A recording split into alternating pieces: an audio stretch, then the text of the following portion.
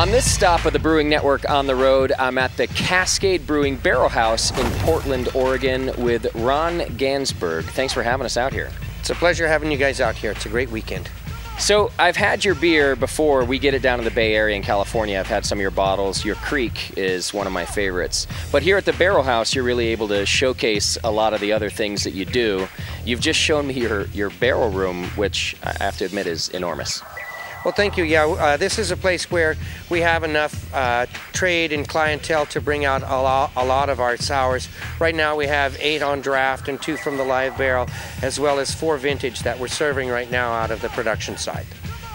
One thing that I took note of even coming in the building is it says Cascade Barrel House sour beers, even on the building, which, let's be honest, that wouldn't work in every part of the country. That would turn some people off. But in the Pacific Northwest, kind of works. It does absolutely. We are the House of Sour, and that is our stock and trade here at this establishment. We have all of our barrel blending and aging. This is much like a, a, Belgian blending house where they would take in all of the barrels and age them and eventually put them into bottle. So let's take an example. You were just pouring me some beers right out of the barrel. Very, very generous of you. Awesome beer.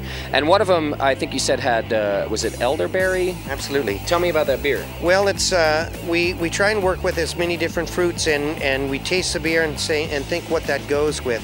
So we had several barrels that we thought just spoke to us elderberry. Okay. And so, what do you what do you look for when you're looking for fruits? Are all your beers the same base beer, and then you add these other things, or do you change every one of them? All of our beers are basically different. We we look at, at these beers as like the keel of an expeditionary vessel from like the 19th century going on its journey, and we try and, and imbue these with certain attributes and then we send it off through time and yet right after that we'll do another which is slightly different with different attributes with different strengths and flavors and we'll have a whole series of these through time and then from this we can learn more rapidly and also gives us greater opportunity for varied uh, fruit and other types of blending and uh, and commingling. And how about yeasts then? I, did you say to me that you guys have your own strain of Brett? No, well, we we the yeast that we use is we have a special relationship with the Normal Abbey in Belgium, the Abbey Normal. I see. so everything's just normal here. Well, yes, yeah, for the Abbey Normal in us all. I yeah. see.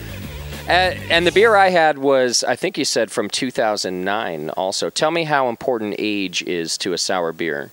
Well, there's a certain period it takes to sour these. It's a period about four months for us. It can vary depending upon how you know how much bacteria is present.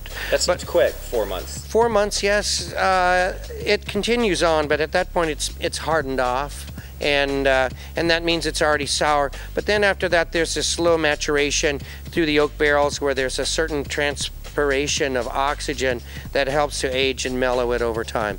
Each barrel goes through its own life, you know, and each barrel is different, even if it's from the same the same batch of beer and, and put in the barrel and, and treated the same, you know. So it's uh, the variation is just mind-boggling. Okay.